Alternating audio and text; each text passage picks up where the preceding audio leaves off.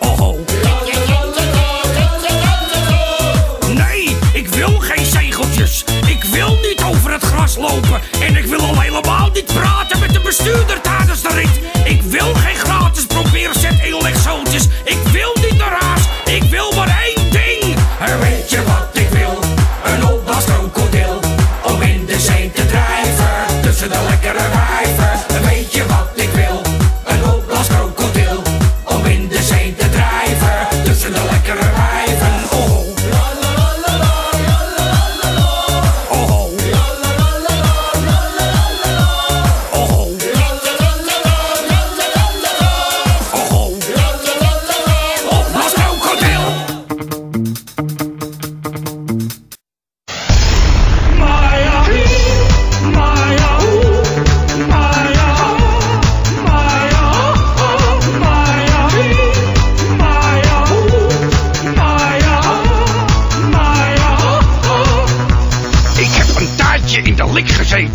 een of andere agent vond dat ik een bel op mijn fiets moest hebben.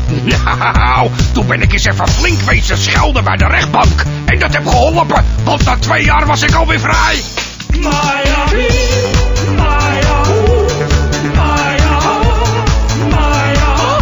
Dus ik loop de gevangenispoort uit en ik zie me daar al lekker mokkel in een sportwagen. En weet je wat ze tegen me zegt?